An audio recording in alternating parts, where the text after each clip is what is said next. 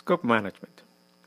This is the first process. Scope management includes the processes involved in defining and controlling all the work required to deliver the project successfully. These are the four steps that we need in order to manage the scope. We need to plan the scope, define all the work that we need to do, then assign that work to the different teams, individuals, or people who are going to be in charge and responsible for that work.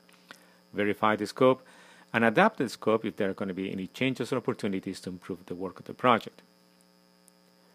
One of the tools that is used in managing the scope is called the WBS. It is a technique that helps you break down the project into different components so that you have a better idea of what is all the work that needs to be done.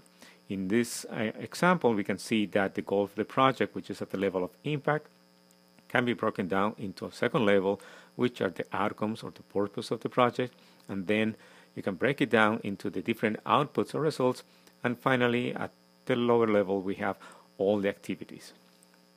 The WBS is a tool that not only helps you define and identify all the work that you're going to do in your project.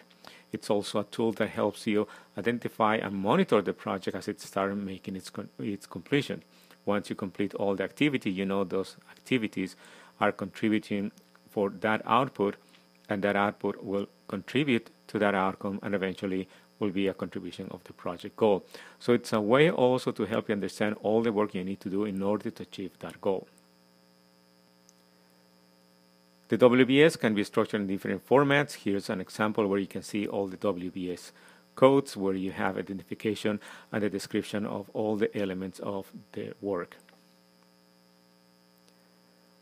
Another tool used in scope management is called the Project Logical Framework. It is a 4 by 4 matrix that contains information about the goals and outcomes, the indicators, the means of verification, and any risk or assumptions. Let's look at that into more detail. In that 4x4 matrix, there is a vertical logic that we see before in the WBS. We have the impact of the goal, then we have the level of outcomes or objectives, then the outputs and results, and the activities for that specific element. So there is a breakdown structure embedded in that column that identifies all the work that we need to do. In the next column, what we have are what is called the objectively verifiable indicators. These are the indicators for each one of those levels. And they are impact indicators, outcome, output, and activity indicators.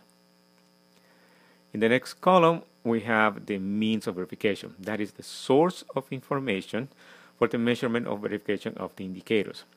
And the recommendations for that list of what type of information, what are the sources of information, is that they need to be reliable, simple, accurate, have no bias, and be cost effective.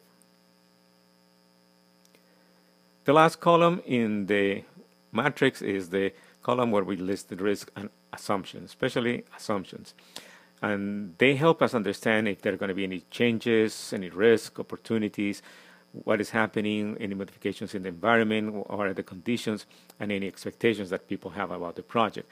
And that is the column that also helps us validate another element of the logical framework.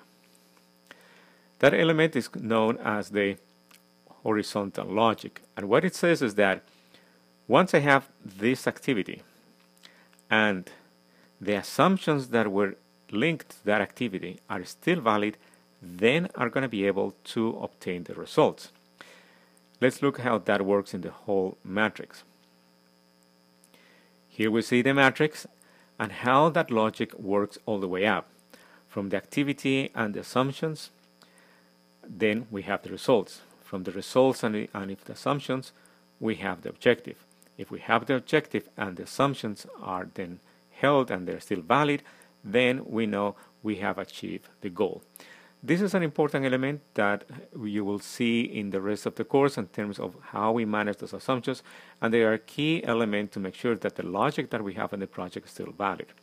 Assumptions do have a tendency of changing, and that's important. They are verified at the moment you're implementing the project. Here are some recommendations to help you manage the scope manage scope changes. It's very easy for little things to be added up and they're not being out of control can create more problems. balance the constraints. That means that if you're adding a scope or taking out a scope, look at what is going to be the impact on the other constraints of the schedule, your budget, and quality. Avoid unnecessary scope changes. In many cases, you don't need to add more scope just because there is a request for it. Make sure that whatever you're adding to the project is adding a value at the end of the project, meaning is contributing to the success of the project. And monitor indicators.